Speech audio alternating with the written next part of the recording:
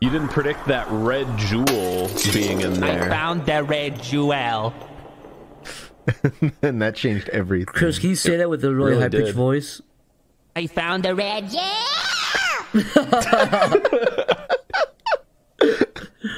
Can you can you go to deep voice? Can you go to really deep voice?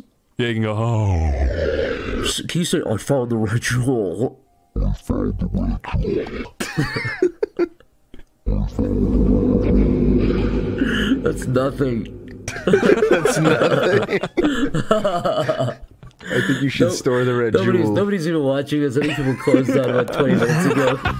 nobody's fucking watching this episode. Nonsense.